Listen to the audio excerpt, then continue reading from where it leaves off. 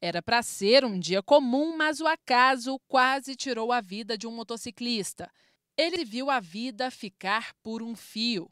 Foi atingido no pescoço por um cabo de telefonia. Estava subindo a Itumbiara, né? E na realidade, quando eu estava passando, né? normalmente a gente passa motoqueiro, passa dentro dos carros, né?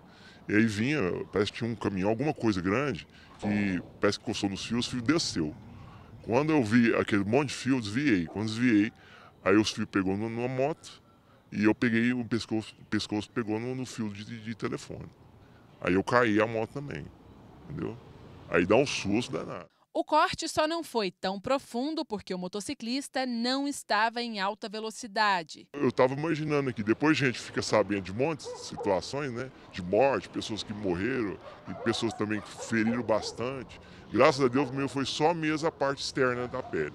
Não deu um problema grave, porque eu estava mais lento.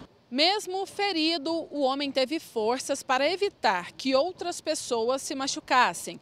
Com a ajuda de quem passava pelo local, ele retirou os fios que estavam em locais que ofereciam perigo a pedestres e outros motociclistas. Não parou, eu parei, aí graças a Deus tem umas pessoas que foi, me ajudou a levantar, é, levantar a moto, porque a moto é pesada. E aí o pessoa também que estava Aí eu vi que tinha muito fio, muito perigoso. Eu pedi um rapaz para a gente pegar e cortar os fios. Porque pode acontecer com outra pessoa, tá mal avisado, né? Aí os carros começaram a passar, aí nós cortamos o fio e eu trouxe os fios tudo para cá, para esquina.